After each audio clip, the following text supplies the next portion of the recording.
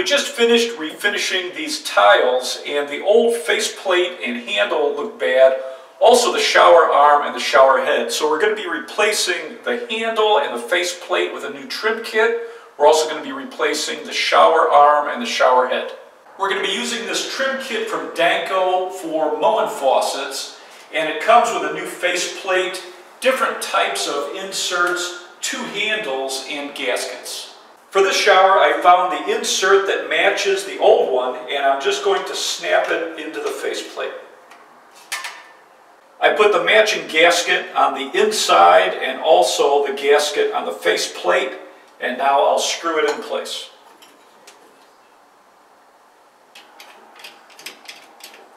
Remove the decorative cover from the handle, and then you're going to screw this to the cartridge. Putting in a new trim kit is an easy way to update an old shower.